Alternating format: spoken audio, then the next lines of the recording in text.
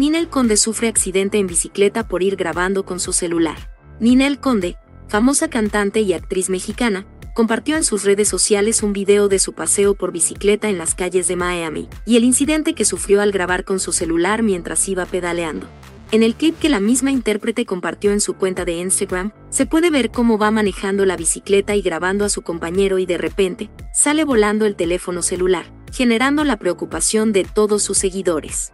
Incluso algunos de ellos aseguraron que el motivo de la caída fue porque iba distraída con el celular, en lugar de prestar atención al ir en bicicleta. Aunque la mayoría de sus seguidores se mostraron preocupados, en la caja de comentarios de la publicación de que la cantante hubiera sufrido alguna lesión, tras caída que quedó grabada durante un paseo por las calles de Florida, Estados Unidos.